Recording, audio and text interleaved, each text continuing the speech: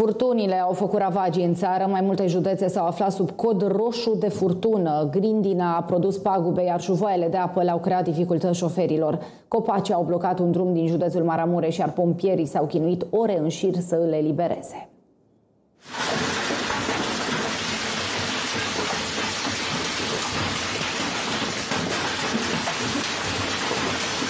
Maramureșul a fost printre cele mai afectate județe de intemperii. Acolo a fost emisă o atenționare de cod roșu de furtună. În localitatea Seini, grindina a făcut prăpăd în gospodăriile oamenilor.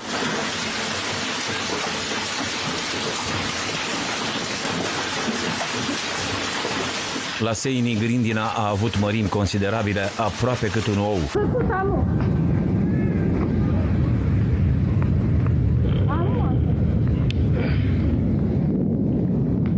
În satul Handalul Ilbei din Maramureș, tot grindina a reușit să spargă geamul unei mașini, însă oamenii s-au confruntat și cu alte pagube materiale.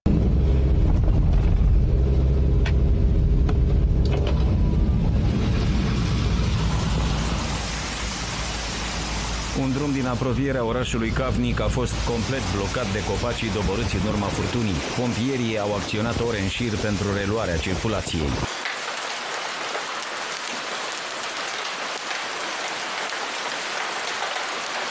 În orașul Baia Mare, debitul mare de apă a produs inundații masive pe străzi. Șoferii au fost nevoiți să circule cu viteză redusă. Ploaia abundentă s-a revărsat și asupra autostrăzii vestului A6, unde vizibilitatea a fost redusă, iar șoferii au fost restricționați la 80 de km pe oră. În localitatea argeșeană Golești, ploaia cu gheață a fost cea care a lovit cu putere.